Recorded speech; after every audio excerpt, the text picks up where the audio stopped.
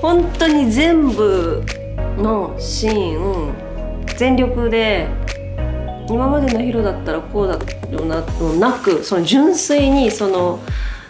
今自分がこの表現したいこともそうだけどその監督が求めてることだったりこの楽曲を表現するにあたり必要なことっていうのを全力でやったどのシーンも。ちょっとこう顔を覆ったりとか少し手に動きつけた完全に後ろ向いちゃって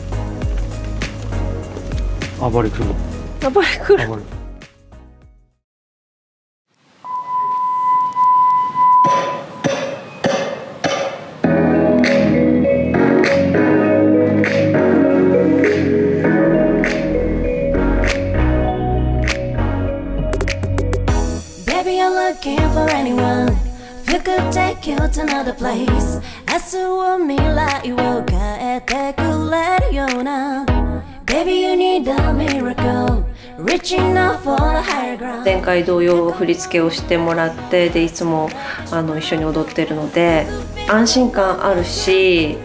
まあものすごいあの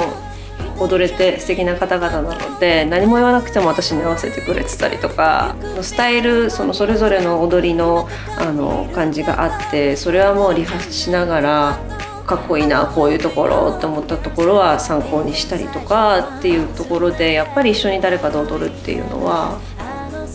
楽しいですしそれはやっぱ一人じゃないっていうところは大きいと思います。